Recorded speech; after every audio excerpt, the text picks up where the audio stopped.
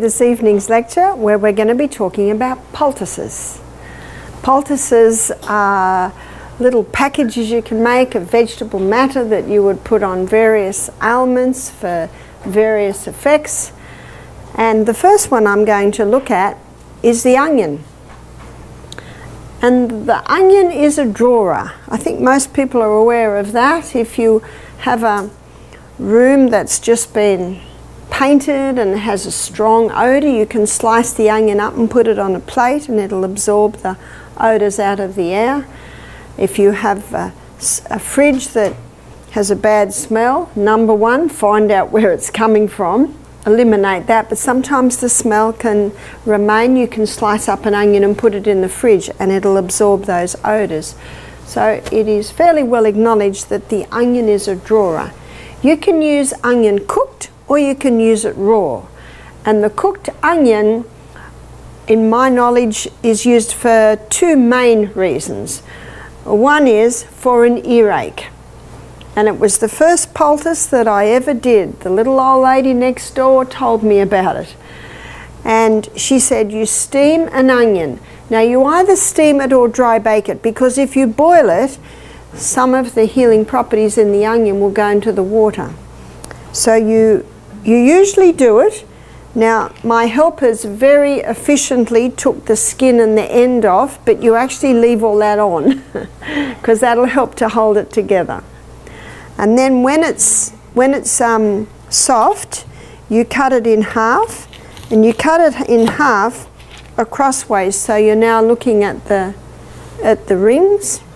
And what you can do is you can squeeze it, squeeze some of the juice from the steamed onion, it'll be boiling, and when it hits the spoon it'll cool a little and then you can put that into the ear and that can bring a bit of relief. And then you wrap up the onion in a cloth. Now you can use a cloth like this, which is, looks like it's a cut up from an old sheet, or you could use a hand towel or a tea towel. So you wrap it over a few times because remember it's boiling hot. And when you get it to the right temperature, test it on your arm, then it can be placed on the ear and then you will put a little sheet of plastic over that which will keep the warmth in. And then you could bandage it on the ear or you could put a little woolen beanie on to hold it there or some people might feel to sleep and they will lay, lay down on the ear.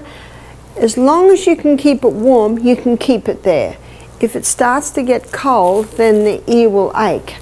Now this hot onion, the heat has an effect to relieve the pain because whenever you've got pain, you've got cramping muscles and moist heat relaxes cramping muscle.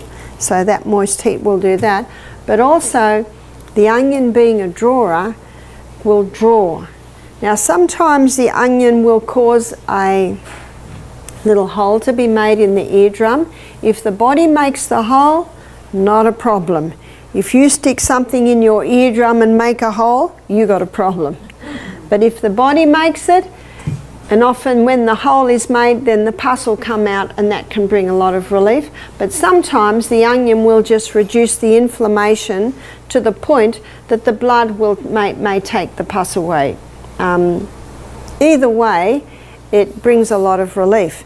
Now, you might do an onion poultice on someone with an earache and they get a lot of relief. And then a few hours later, the pain comes up again. Just do it again. You just keep doing it until there is no more ache. Sometimes one application is enough. Sometimes it needs to be done a couple of times a day for a few days. A friend of mine, she had to do it every day for a week. You know, whatever it takes, the body knows what it's doing, and if it brings relief, the body's saying, Thank you, that's, that's what I want you to do. The other place that you can use a cooked onion is on a boil. A man rang me up and he said that he had boils coming on the inside of his nose, are very painful.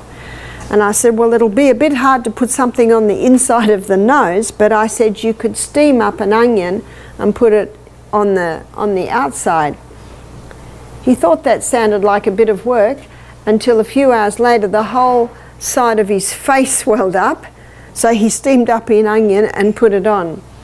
and he said to me that it brought so much relief he was able to sleep. And when he woke up, he said the boil had burst and all the waste had come away. He said he has never got so much relief so quickly because a boil inside the nose, as you can imagine, is, is very painful. Most pain is due to inflammation. So if you can get that inflammation down, you can reduce the pain.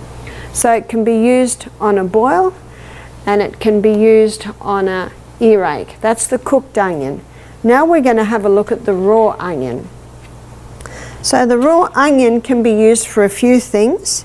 Now if you have a organic, non-GMO, non-radiated onion and you cut it up, you'll start crying, won't you? That onion juice has an effect to stimulate the respiratory organs to clear and to thin the mucus. So the cooked onion, as I said, is for ear and for a boil, but the raw onion is used often mostly for respiratory. Now you might be surprised at where I'm going to put this, or where I'm going to suggest putting this onion that I'm chopping up, and that is on the bottom of the feet for a head cold or a chest cold. You see, the biggest pores in the whole of your body are on the soles of your feet. So what you do is you get a plastic bag thus, and you put the onion in the plastic bag, and then the foot is put on the, say this is the foot, you put it on the onion in the plastic bag, and then twist this bag around and around and secure it, and then put a sock on and the sock will hold it nice and nice and firm. You want the onion on the bottom of the feet because the biggest pores in your body are on the bottom of your feet and the body will take the onion where it needs to go and often it'll take it if you need it in the chest or to clear the head. I was with my daughter and her little three-year-old. We'd put him to bed, he had a cold and he coughed and he coughed and you think any moment he'll fall asleep. But an, half an hour later, he was still coughing, and I said to my daughter, Emma, just get him up and we'll do the onion. We put the onion on the bottom of his feet, put the sock on, put him back to bed, not one more cough.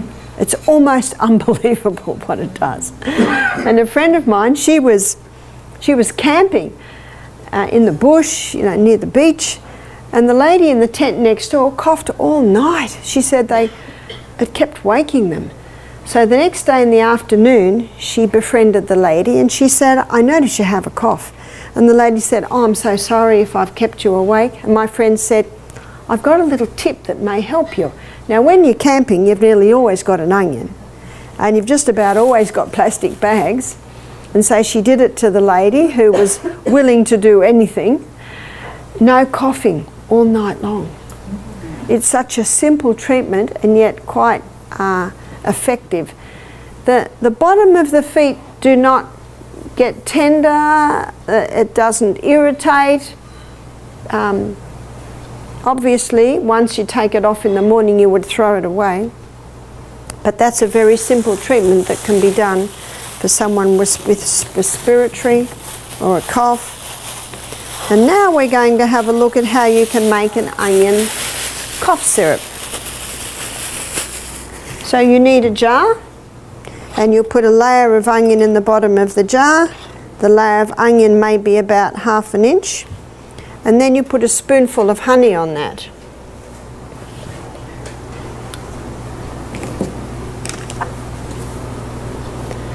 So we'll put our spoonful of honey on that. Now when, when you buy raw honey in the winter, it's often quite solid. Have you found that? And you can do this with the solid honey. And whether it's a runny honey like this or whether it's a solid honey, it will, they will both work. I'm making this at the beginning of our lecture because by the end of the lecture you'll see a syrup will begin to form. So now we're putting in another layer of, of onion. The first time I read about this recipe it said to use sugar. But I didn't give my children sugar, so I really didn't want to make it with sugar. So I thought, I'll try it with honey, and it works very well with honey. And honey can be very soothing too on a, on a sore throat. So now we cut up and do another layer. So if you have a big family and they've all got bad coughs, you could do several onions and fill the jar. So for purposes of illustration, we're just going to use our one onion.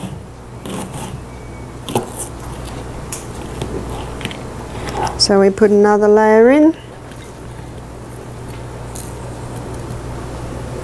And another layer of honey.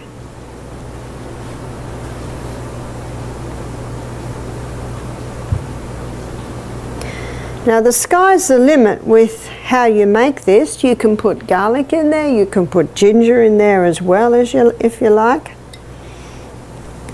Now our last layer goes in and you end with a layer of, of honey.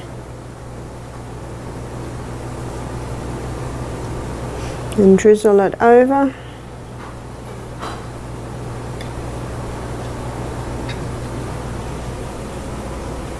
And if my grandchildren would hear, I would give them this spoon to lick.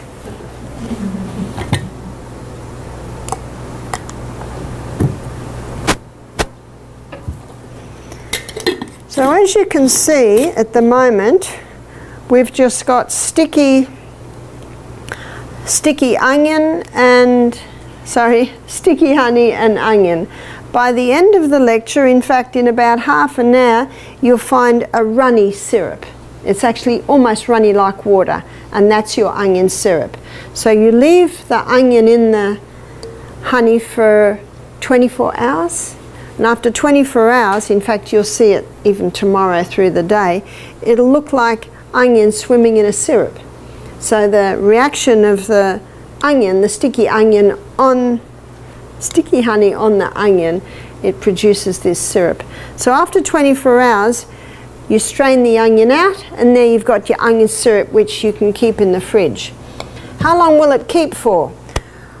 Well, I always used to say it doesn't keep long in my house. My children very much like the onion syrup. But one German lady in a meeting one day, she said, oh, I've had a jar in my fridge for, for 10 years.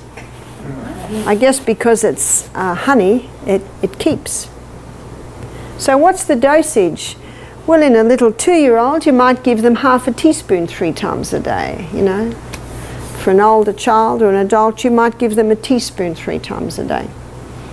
I used to say to my children if they had a bad cold, if you sit still and let mummy put poultices on you and put a few things on you, then you can have a teaspoon of onion syrup. Now my children, I did not give them lollies, so they thought the onion syrup was pretty good. But I guess if children are used to a lot of sweet things, I don't know, you'll have a taste tomorrow. but it's actually quite a nice syrup. Something else I'm going to do early in our lecture is uh, castor oil compress so that you can see how it soaks in. It can take nearly half an hour to soak in. Now castor oil penetrates deeper than any other oil and wherever castor oil penetrates it breaks up lumps, bumps, congestion, adhesion. It will break up a bone spur. If the bone spur has been there three years, it may take three months to break it up. If it's been there three months, it may take three weeks. If it's been there three weeks, it might only take three days. So it all depends how long it's been there. But the key is consistency. Now, this is really not a poultice, it's a compress. And as a compress, it's not drawing anything out of you it's a vehicle, this little pad is a vehicle to hold the oil so that it'll penetrate into you.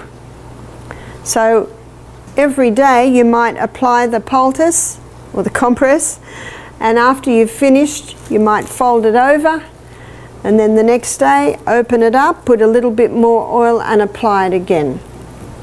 So you can use it for tumours, you can use it for cysts, uh, I met a lady who told me she'd conquered her breast cancer by castor oil, wearing the castor oil compresses. In fact, one young girl I knew had a fibroid in her uterus. They wanted to operate. but she wanted to do it naturally. So she took the Anna's Wild or applied the Anna's Wild yam cream to get the estrogen down and applied the castor oil compresses to her abdomen. Some people sleep with them, you can certainly have it on overnight. Some people would rather be a little bit freer at night and just let it sit in their clothes. But you need to have a plastic backing because the castor oil could soil the clothes, but done properly it will never soil. So what you do is you is you put a circle on in the middle. So I'll show you what I've done here. So the the little castor oil pack is about this big. The plastic is about that big and I've put approximately this much castor oil on. And because it's so thick, it's sitting above the pack. And as it slowly soaks through it'll go out to about that much. And then when it goes on your warm body it'll go out a little bit more. Can you see that? So if you do it correctly it's not going to leak and get on everything because there's nothing worse than castor oil on the sheets or on your clothes. So we're letting that sit so that it can soak in. So where would you put that? You would put that on a bone spur, you would put that on sometimes even a, a sore wrist, uh, joints, you can put it on for that. One lady had very sore knees and found that that made a big difference. You could put it on a congested chest. If it's winter and a person's got a congested chest, obviously you'd make a little bit bigger for that. Um, you may then put a hot water bottle on and that would help to, to uh, warm up your poultice. Mostly the, the body will warm it up but if the person's got a cold and they'd like it to be warmed quickly, you can do that. It can be used on the abdomen for constipation. It'll penetrate deep and break up congestion in there. I met a lady who was the wife of a doctor. She said, 20 years ago I had irritable bowel syndrome. And when my husband told me what he was offering medically, I said, no thanks. And she'd heard about castor oil, so she applied castor oil compresses. And she said she healed herself. Little few dietary changes as well, as you heard last night. Um, so castor oil can be used just about anywhere. It can help to break up um, gallstones in the gallbladder. It can help to uh, revive the liver. So your liver, your gallbladder is under your right rib. So you would do it to that area It applied to the kidneys, it can help break up kidney stones. And so there's a whole lot of areas that you can use castor oil. I don't advise you take it by mouth. It can be a little irritating there. But topically, used externally, it, um, it can have quite a powerful effect. Now we're going to have a look at garlic. Garlic is a very potent antibiotic. In fact, the research is showing is six times more powerful than tetracycline, and that's a common antibiotic. To use it as an antibiotic, you would need probably about three of those a day. Now, if someone says, my gut couldn't handle three of those a day, what you can do is you can get a bowl of hot soup, grate it into the soup, and that'll just take the edge off it if a person cannot handle it raw or something delicious to put into your baked potato is to grate this straight into, say on this very fine, on the fine grater, grate it straight into olive oil and then spoon that mix into your baked potato. Very, very nice. And some people choose to do the antibiotic sandwich, which is a slice of sourdough spelt toast, uh, olive oil on that, and then grate this whole clove of garlic onto the slice and then avocado and tomato, it is very delicious. It's almost like a little mini pizza, isn't it? And what happens is the bread underneath and the olive oil underneath, and then on top you've got the avocado and tomato, it calms it down a little bit. But I'm going to give you the recipe for the flu bomb, or you can take the flu bomb. So the flu bomb can be used for bronchitis, it can be used for asthma, it can be used for the flu, it can be used for pleurisy, it can be used for pneumonia, it can be used for sinus or a head cold. The first ingredient is garlic and the garlic is crushed. I'm not putting an amount on there because some people can handle that much garlic, some people can only handle half that garlic, so it depends what you can handle. The next ingredient is ginger. And the ginger is usually, well, it can be finely grated. And usually the ginger is about a quarter of a teaspoon. The next ingredient is eucalyptus oil. If you don't have eucalyptus oil, you can use tea tree oil. And it's one drop. Next ingredient is cayenne pepper. Now some people can handle half a teaspoon, some people can handle quarter of a teaspoon, some people can only handle a little shake. So that's up to you too. The next ingredient is lemon. If the lemons are on the tree, I say use the juice of a lemon. If they're a dollar a lemon, maybe you use half a, half a lemon. But basically lemon juice you're using. And the last ingredient is honey, and usually it's approximately one teaspoon. Even if you put in four teaspoons, it does not really um, mask the other ingredients. And then you mix that in about a third of a cup of hot water. Now if someone has a flu or a cold or a sinus, it's usually taking one of those three times a day. So that's the flu bomb. Usually by the third day, you don't need it anymore. that's quick, isn't it? It's quite potent, but it works. What about a baby? You can't give that to a baby. And as you saw, as you saw in my lecture uh, last night, you also can't give a baby food. So what can you do? You can finely slice garlic and you can wrap it on the bottom of the baby's foot. Now this is a very large piece of garlic. So maybe with a piece of garlic that big, you only need one. And what I would do to my babies, I'd get a little piece of cloth like this, and I would put the garlic on the cloth, and then wrap the cloth over it, and then bind that to the bottom of their feet and then put their little sock or little shoe or booty on that. If you put a layer of cloth between the baby's skin and the garlic, it will not blister. But if you don't, you will form a big blister on the bottom of the baby's foot, and the problem then is you can't put any more garlic on till the, till the blister heals. One lady heard about garlic on the bottom of the foot and she grated it up Put on the baby's foot. Oh, she said, yes, I have a great big blister on the baby's foot now. but if you slice it like that, little by little, the garlic eases in through the pores on the bottom of the feet. And the garlic knows where to go. It'll go to the chest or it'll go to the, to the, the sinus areas and it can bring relief. It can even help to break up congestion in the chest. So my son James, when he was a little boy, he used to get a lot of chest colds. And I would put this on the bottom of his feet. He's about two and three.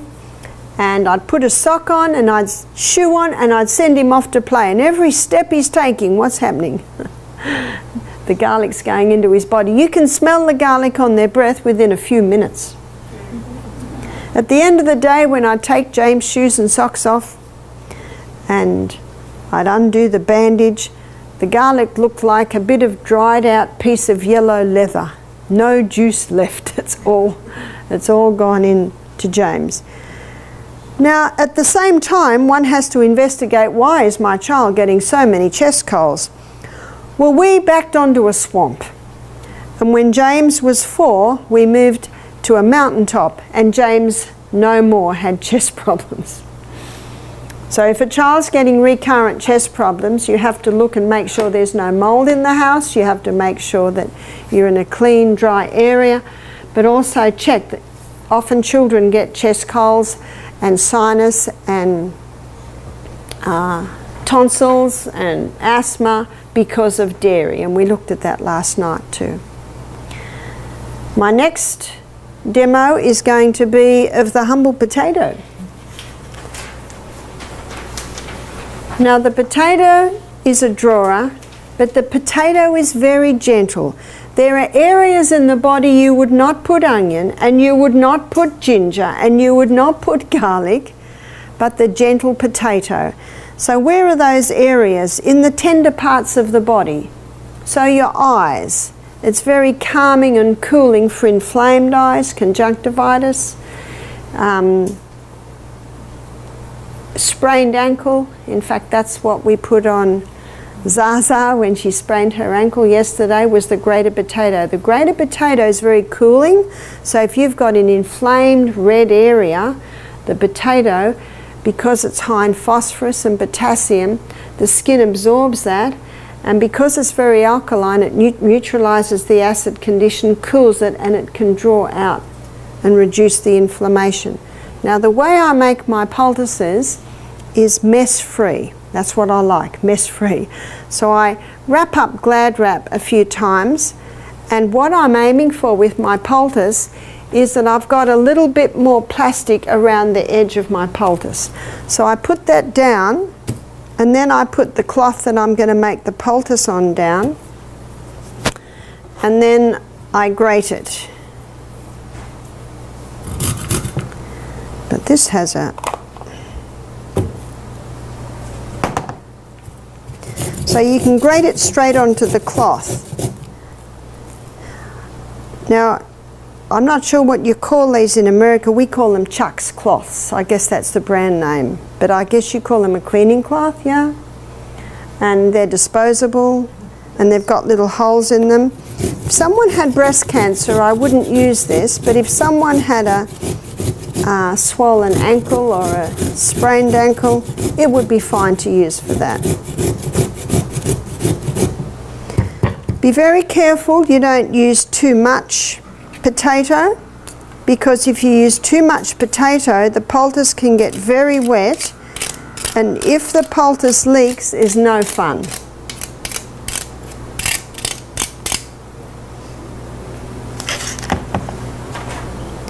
So you spread that out a little bit. So can you see how much I've put on here?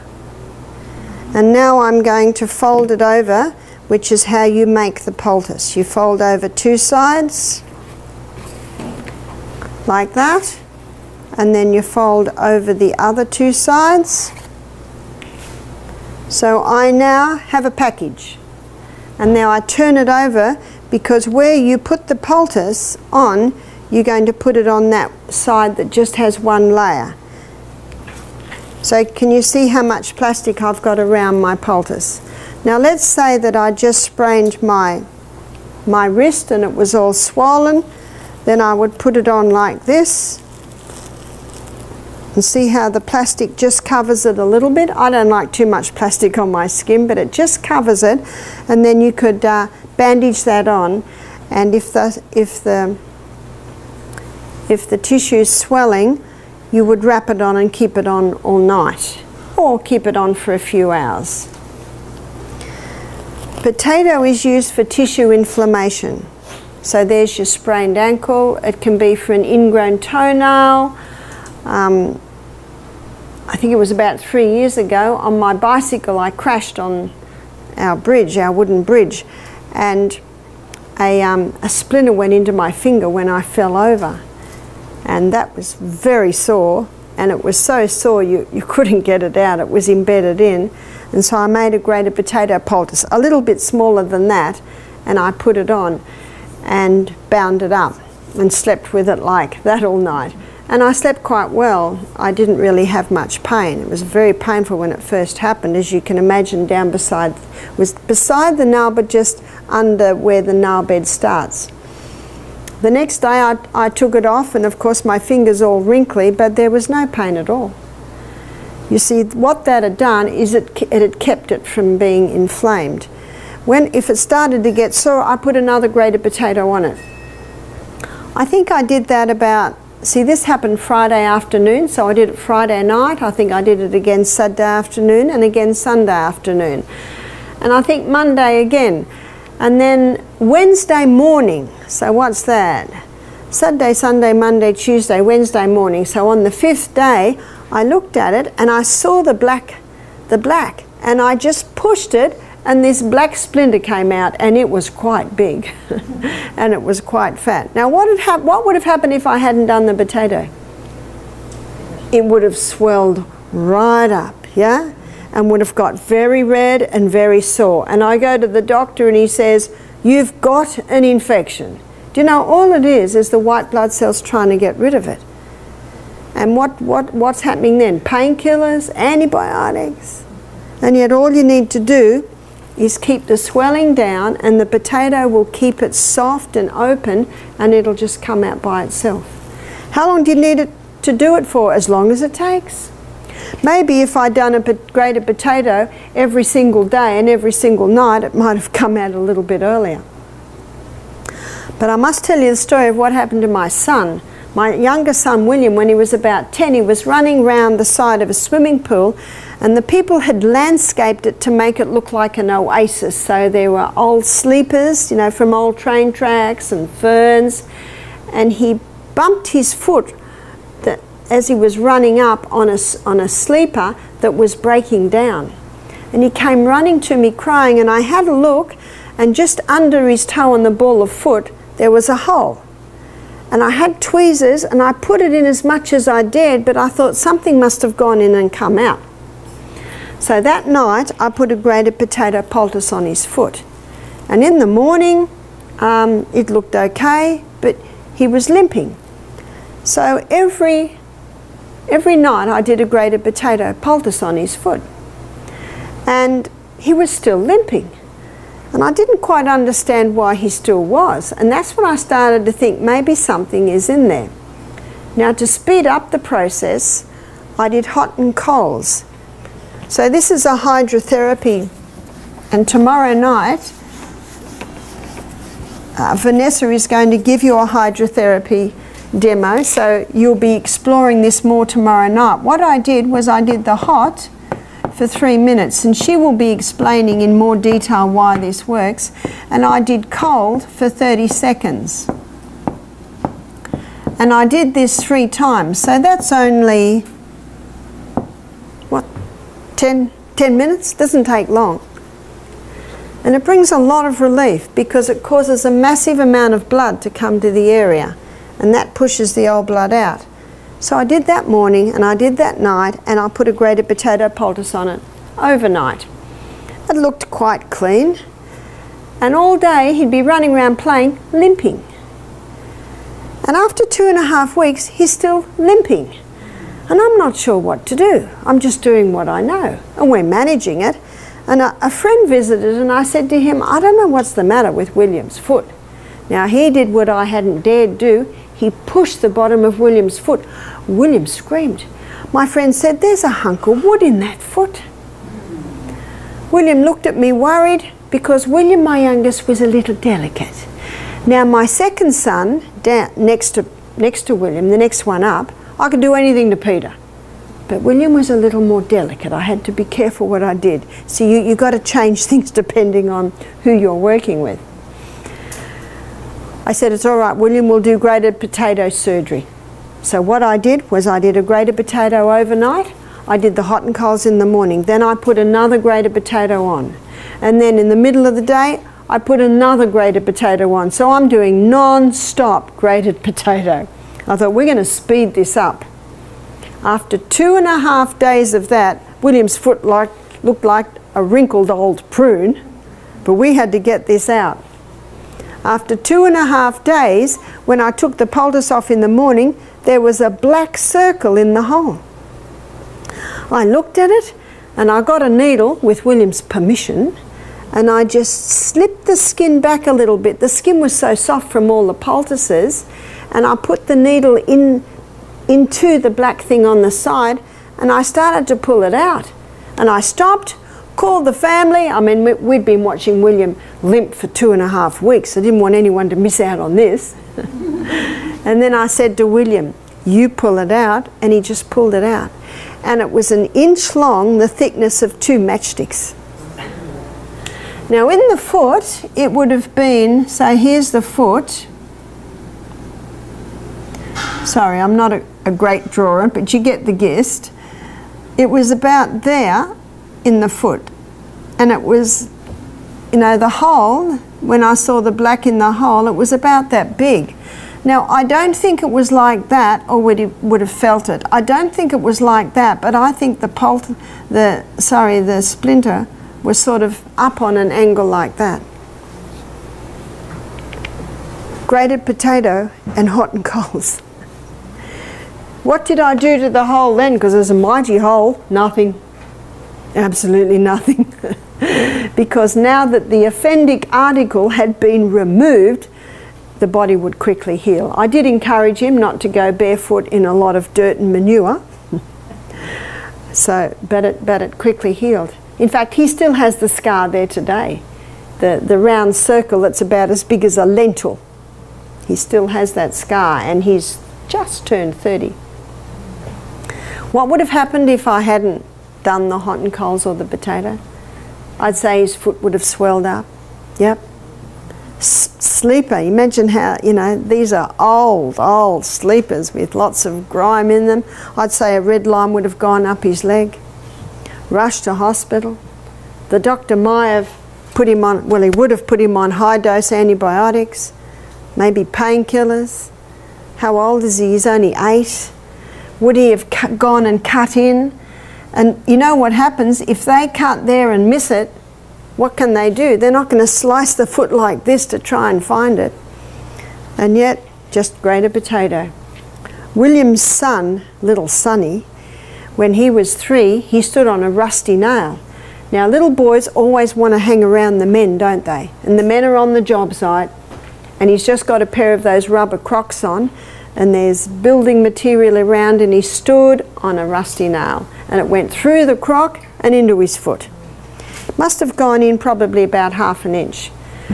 He was crying and, and Marcus said to his mum, take him to grandma. So they brought him to my house and he was very dirty because he's a little boy and he's been playing in the dirt all day. So what's the first thing you do? Put him in the bath. Give him a wash and the warm water will calm him down and then I made a grated potato bandage for the bottom of his foot. It was probably about that big. Put his little foot on there, bandaged it on, put his sock on, and then put the little croc on because you know those rubber crocs you can have a fairly fat bandage on and it'll slip in. And he was happy as happy then. No more pain. The potato had had done that. That was about oh early afternoon. That night they put a fresh grated potato poultice on and the next day it looked clean, it was not sore, so they didn't do anything. That night they did a grated potato. Three nights they did a grated potato. After the third night, William came to me with the poultice after they took it off. He said, Mum, look at this. And on the top of the poultice there were little shavings of metal that were like a fluorescent blue colour. He said the potato has pulled the rusty metal out of the foot and cleaned up the rusty metal. We didn't do another thing. Why not? Well, the foot was happy. If the foot got red, if the foot got sore, you just, you just, you just do it again. It's like William's foot. Because two and a half weeks of doing this overnight hadn't done it, and I realised there was something in there, I just hit it harder just did it a little bit more often. So if you're not quite getting the results, do the hot and colds. You can do hot and colds on your feet, you can do it on your hands, maybe your elbow, and, uh, and put the poultice on. Potato is for tissue inflammation. Now we're going to look at what's for ginger inflammation. I've just given my right hand lady the sign and she's bringing ginger. Unfortunately, we used up all the ginger in your juices. so we're using frozen ginger. And frozen ginger, see ginger doesn't keep, you know, if you're going to have it for weeks, it's good to freeze it. But frozen ginger can be grated quite well.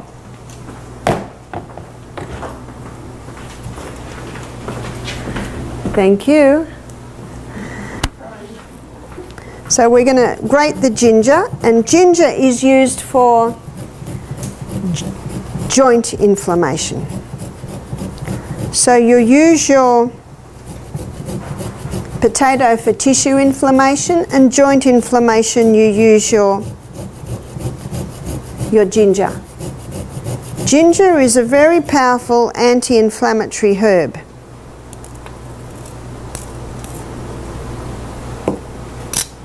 And what you want to use is the juice. So there's quite a bit of juice coming out of this frozen ginger. So where you would use this, maybe this is a poultice for a, a toe that's got gout. Maybe this is for a arthritic finger. So you make the poultice in the same way that I made the potato one. And can you see we've got about a half an inch of plastic all the way around it. And let's say a lady has a painful joint here, an arthritic joint. Then you would put it on there and then you bandage it on. Now my, my suggestion is if you've got any painful joints and you're going to use ginger, apply it about six o'clock in the evening. Because if that joint is inflamed, the skin can get very, very hot. Some people have said, Barbara, my skin's burning. I said, the good news is your skin won't burn. But if you can handle it, sleep with it. And some people say, I can't handle the heat. I said, well, just take it off. Even just being on for half an hour will take some of the inflammation out of the joint. It appears that the ginger pulls the inflammation out of the joint to the skin. Because if there's no inflammation in that joint, it won't get hot. Now, it will not hurt it, but it, will only get hot if there's inflammation in there. So very nice on lower back. If someone's got a sore lower back, they'll often put a hot water bottle on it and it'll bring a little bit of relief. Now if they've got a sore back, there's usually inflammation there. And if they put a hot water bottle on it, it's not good for the inflammation. It can increase the inflammation. So why does it bring relief? Whenever you're in pain, the muscles cramp and you put a hot water bottle on your back, it relaxes the cramping muscles, so it brings relief because of that. Now putting a ginger poultice, if you put a ginger poultice on the lower back, you would make it about the size that I made the potato. So if you put a ginger poultice on your lower back, and what I say is put on your lower back and you can tape it on and often your pants will hold it there and you lie on your back with your knees in the air, you know, your knee up and your foot down so that the lower back goes flat. And it presses that against the lower back. Within half an hour, you start to feel the heat. and the heat from the inflamed joint coming out to the skin, that heat relaxes the muscle and yet it's reducing the inflammation. So it brings a lot of relief. One lady with a sore lower back at our retreat was putting the ginger poultice on. She was so excited about the relief it was bringing. She wanted it in the morning, she wanted it in the afternoon, she wanted it in the evening, and after two days her skin started to get a little sore. so what I say is just save it for the evening. Don't do it non-stop. You'll never get sore skin from the gentle grated potato. Your skin might look like a dried you know, prune, as with William. But because the ginger is pulling that inflammation out to the skin, if you continually do it, the skin can get a little irritated. But if you just keep it for when you need it, maybe of an evening. One lady said that got so hot, but it was an arthritic joint and it felt so good. She said, no, I want to keep it. I want to keep it on, keep it on all night. Now with vegetable matter, when you make a poultice out of vegetable matter, once it's used, it needs to be discarded. Whereas your castor oil compress, so I've got there, because it's an oil, it can be used again and again and again. We had a man do our program who was a barrister. He was 38 and he said to me, I've come to the retreat to stop drinking alcohol for a week. He said, Don't tell me to stop drinking alcohol because I'm not going to stop. I'm just here to have a week's rest. I just said, Ah, oh, you can't say right because it's not right. And you can't say, This is terrible. I have no right to say that. So this is where you go, Ah. Oh. Midweek, right now, Wednesday night, we're doing the poultice lecture, and I did the demo on the grated ginger. He said, I have a little toe that sits up like that. He said, It's my middle little toe. He said, It's been paining me for 18 months. The doctor says it's gout. He said, I don't know what to do about it. He said, I am a barrister. I go to court with my wig and my robes on, and I have to wear slippers. I can't even wear shoes. I said, well, let's put a poultice on it. So this was about the right size for a little toe. We put it on, maybe a little smaller. We taped it on, and whenever I apply a poultice, I always ask the guest if I can pray, and I ask for God's blessing on that poultice. And he went to bed. The next morning, now this man was very quiet, very reserved, and kept to himself. The next morning, he's coming down the hill because he was in one of the cabin rooms and he's yelling out. It was very um, unusual for this man to do that. And we looked down and he came running up. He said, It's gone. He said, My toe is flat and there is no pain. One ginger poultice. Now, the next day, and for you it is tomorrow, you'll be hearing the acid alkaline lecture. And when he heard the acid alkaline lecture, he then realized it was the big steak and the red wine that he was having every night that was contributing to his gout. The next day, when I had the final consultation with him, he sat in front of me and he said, I'm going to stop drinking. All because of one little ginger poultice. he was so happy. By the time we consulted, he'd had 48 hours of no pain. and he was very much liking that. One man who had gout in one toe, he put this on. He said the next day it appeared in the next toe. So he put it on that toe. The next day it appeared in the next toe. It seemed to jump toes. I said, Did it jump feet? he said, No.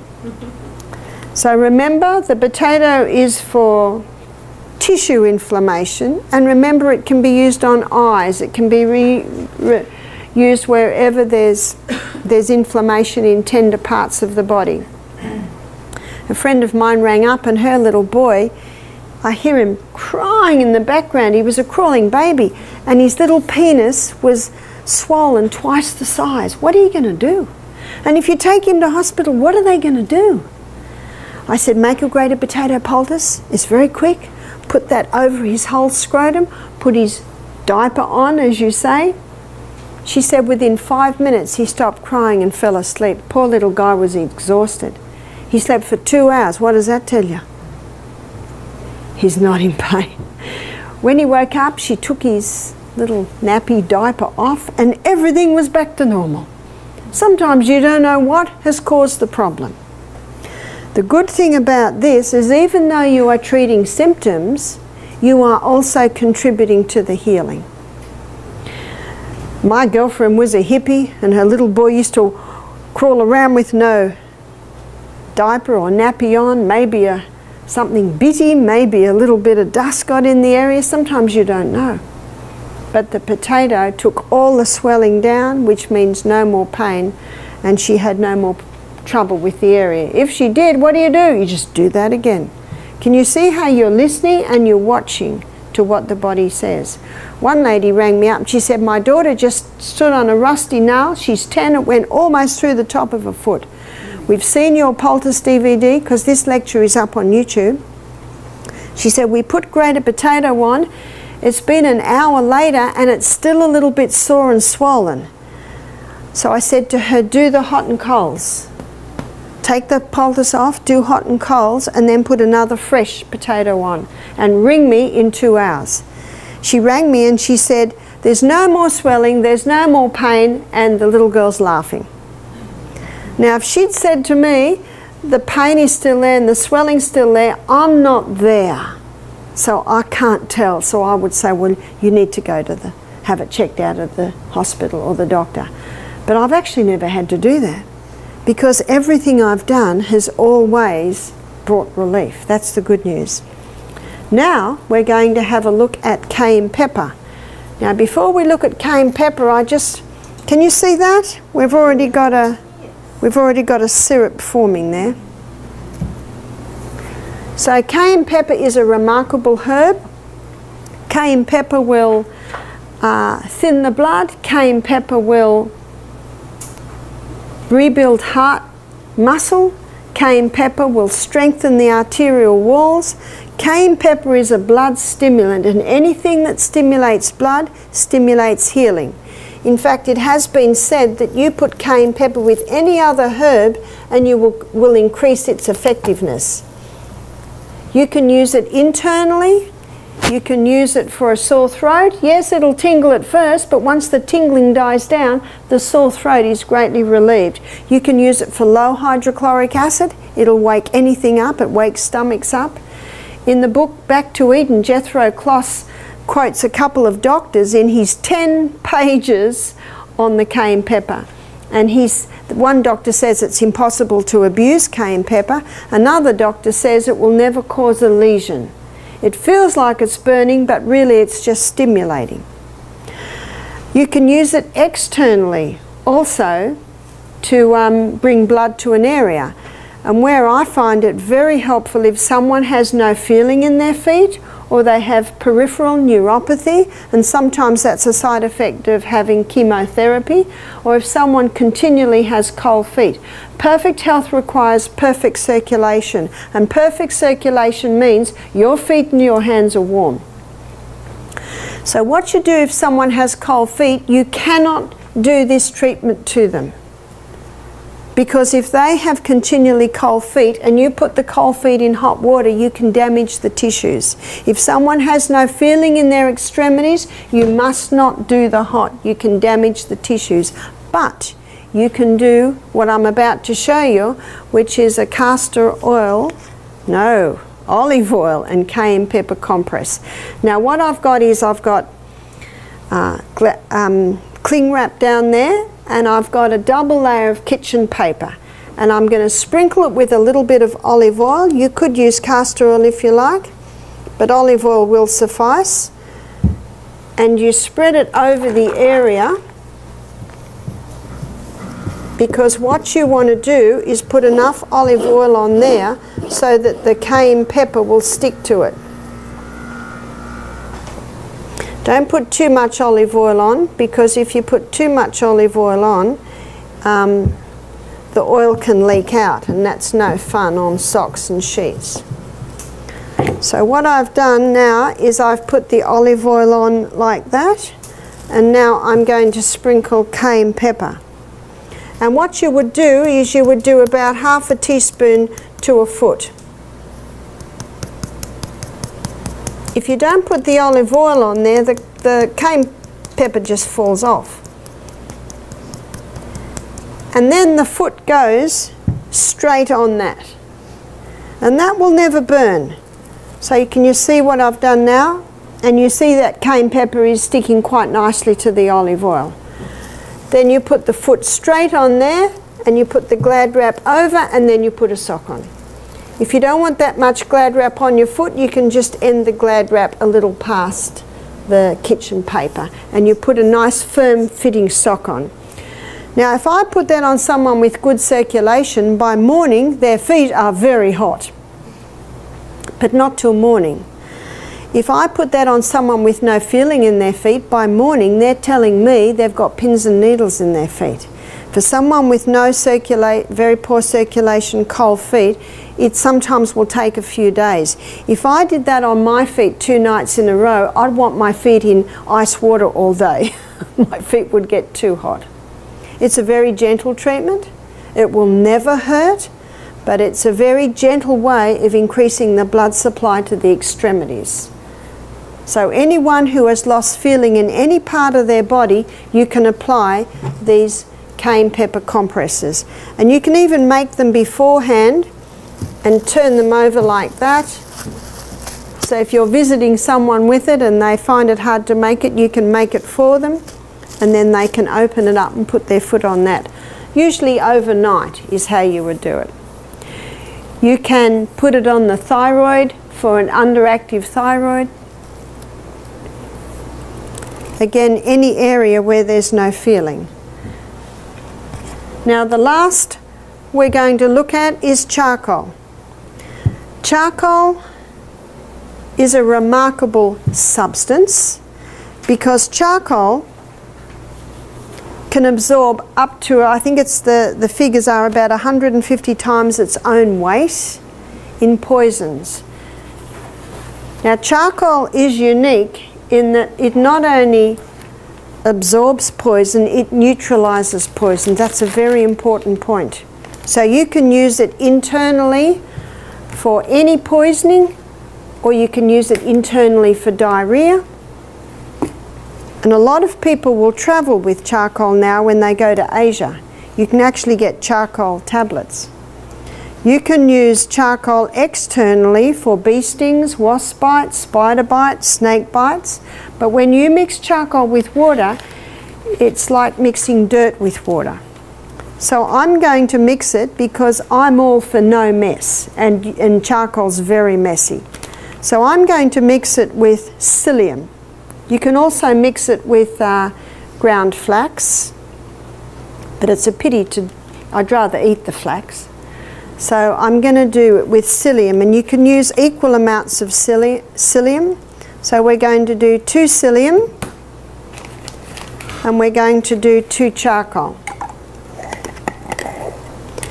Now this poultice that I'm making, it can be used on sore eyes. It can be used on bee stings, you know, any type of stings, wasp stings. It's quite incredible the way it takes the pain out almost immediately. So I'm going to mix that a little bit and then I'm going to put water in. Now if I were to mix this in a bowl, then we'd have terrible trouble trying to get our, the black out of our bowl. But if you mix it in something like this, there's a few pluses. One is it's not going to be messy. And I'm, I do this when I'm cooking, I guess.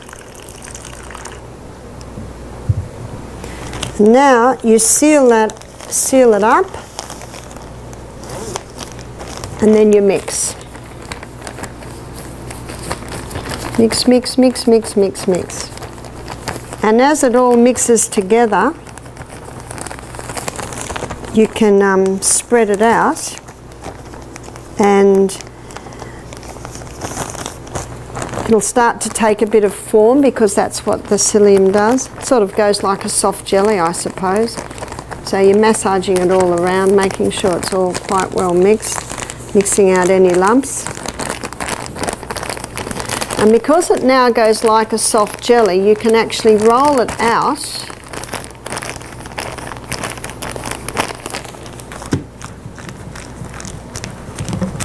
like this into the bag. So can you see that it how it's rolled out? And now that that that is set now. And I'm just getting a bit more air out of it.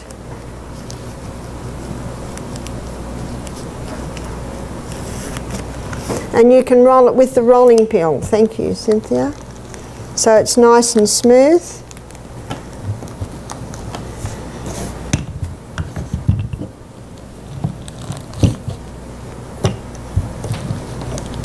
And that's taken up the whole of that plastic bag. And I'll just get a bit more air out.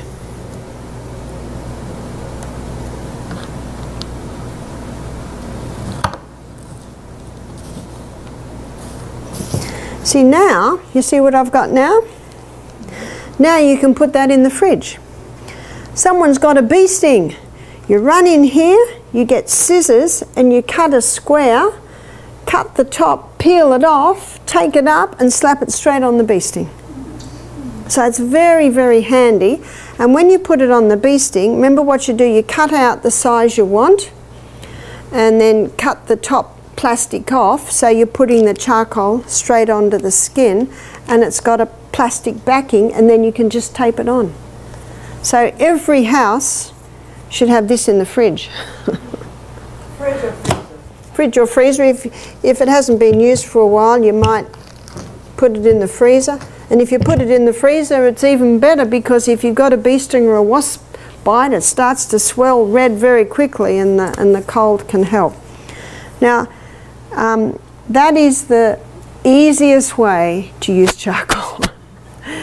Less mess, very handy, straight in the, in the fridge and you can cut it to, the, to what you want it. Always put the lid straight back on your charcoal. Now you see the castor oil has, um, has soaked in quite nicely. When I first put it on, it was like a lump of oil. Now, do you remember what I said, that it'll spread out a little bit? Now, when you put that on the body, it'll spread out a little bit more. And remember, it's just a vehicle to hold the oil to go into you. So this isn't drawing anything out of you. And when you're not using, you can just fold it over. And the next night, you'll open it and put a little bit more oil on. You'll find that as you use it, it gets a little dry because the body's taking it in. Some people say, can't you just rub the oil on? Well, it's very sticky and messy and you're only putting a little bit on. Whereas if you use a pack, you see the thicker the pack, the more castor oil it can hold and the more castor oil can go into you. Let's have a look. Now you can see I, it's probably an hour ago that I did this. So if you've got someone with a bad cough, in one hour you can have your, you've got enough syrup to give them a little bit. But ideally, see it starting to swim in it? Ideally you let that sit for 24 hours. And there ends our lecture. So I trust you've been inspired to get a little kit at home, get a little box and put your your cloths in there, save up your little cloths, um, cut up old sheets and have your charcoal in there, your castor oil, your cayenne pepper. Actually, you've probably just about got it all in the in your kitchen anyway. Thank you for your attention.